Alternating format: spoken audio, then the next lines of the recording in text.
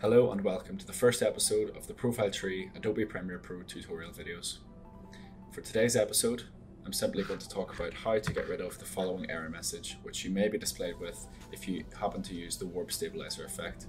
Now, why would you use the Warp Stabilizer effect?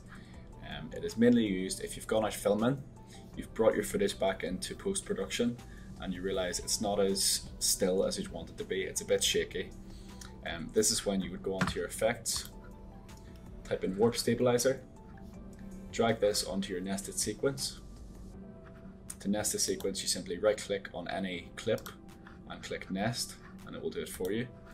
And then you drag the Warp Stabilizer effect onto your nested sequence, and you will see what will take place on the screen. It will analyze the background and basically make the footage still. Um, sometimes, however, this little error message is left behind.